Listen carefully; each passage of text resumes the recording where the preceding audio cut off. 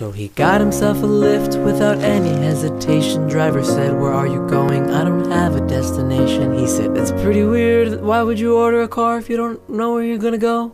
Are you stupid or something? What the f is wrong with you?